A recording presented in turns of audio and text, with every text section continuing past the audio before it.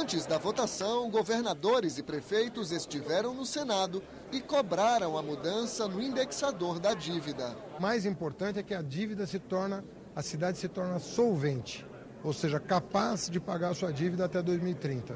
Hoje nós somos incapazes de pagar a nossa dívida até 2030. Os estados devem ao Tesouro Nacional quase 425 bilhões de reais, uma dívida que começou em 1997. O estado do Rio Grande do Sul, a dívida era de 9 bilhões, pagou 14 bilhões e hoje a dívida é de 42 bilhões. Minas Gerais, a dívida era de 13 bilhões, pagou 25 e hoje a dívida é de 63 bilhões. Então nós estamos fazendo justiça. A dívida de estados e municípios é corrigida hoje pelo Índice Geral de Preços, IGPDI, mais juros que variam de 6 a 9%. O projeto que o Senado aprovou muda essa regra.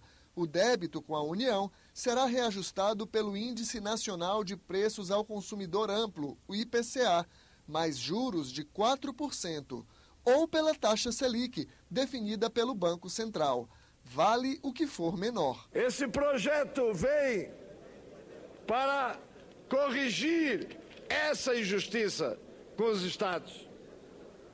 Esse projeto vem para desasfixiar as finanças estaduais. O projeto foi aprovado por unanimidade. Pelo texto, estados e municípios podem ter parte da dívida perdoada isso porque a nova regra é retroativa a 1997.